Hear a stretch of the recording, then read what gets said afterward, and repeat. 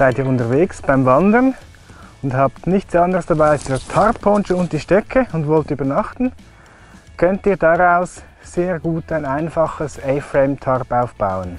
Und das geht so.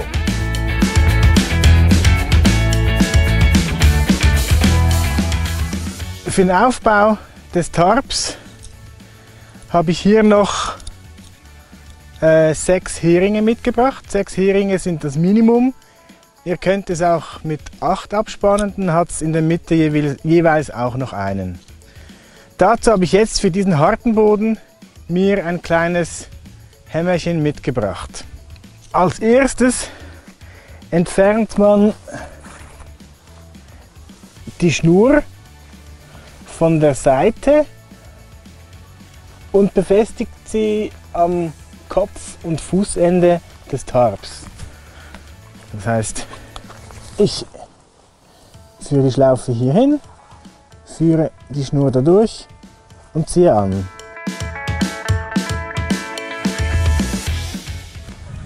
Die andere Schnur,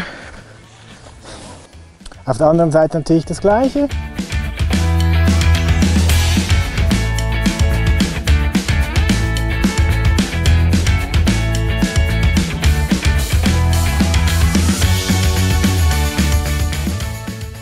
Danach geht es darum, die Heringe zu setzen.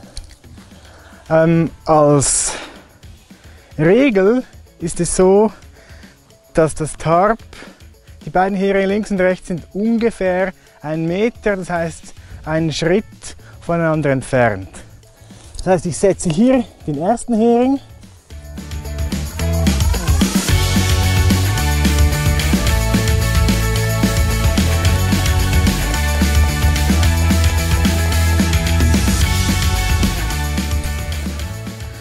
messe einen Schritt, kommt etwa hier hin und setze den nächsten.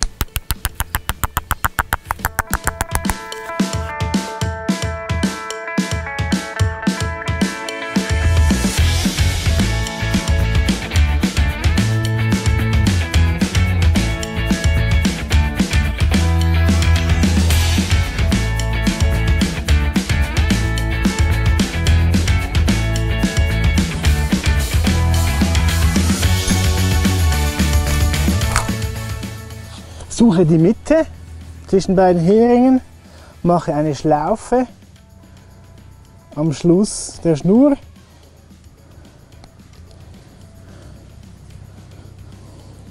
und setze mal zum Test den Hering hier. Den kann ich danach, wenn ich merke, es stimmt noch nicht ganz, immer noch besser platzieren.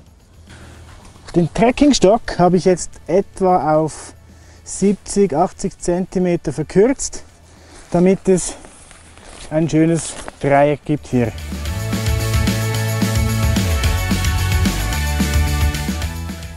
Den Stock hier hin, suche mir die korrekte Distanz und versenke den Hering hier.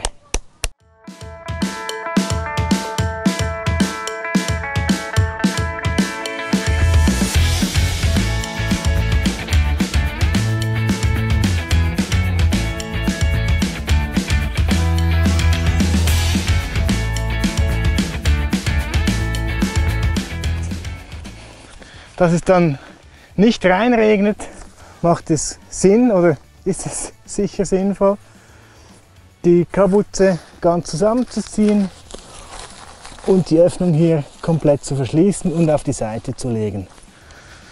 So nun steht das Tarp schön stramm da. Das Beste wäre jetzt, ich hätte eine Matte, um drin zu schlafen. Hier unsere neue Flexmat ähm, sehr gut passend zu Leichtgewichtsausrüstung wie hier.